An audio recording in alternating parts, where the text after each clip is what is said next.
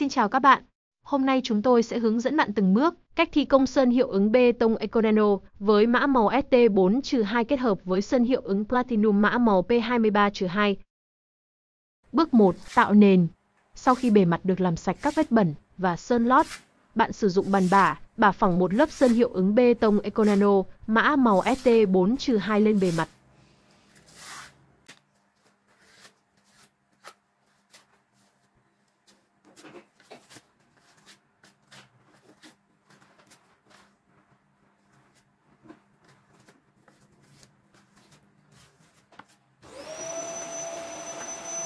Bước 2. Tạo hiệu ứng.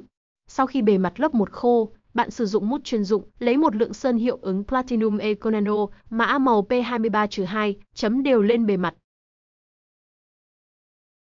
Bạn có thể thay đổi áp lực và góc độ của mút để tạo hiệu ứng khác nhau.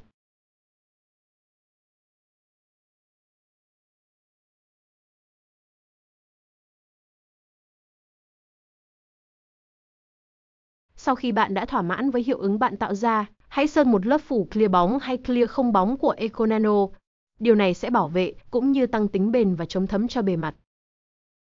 Cảm ơn bạn đã xem và chúc bạn thành công trong dự án của mình.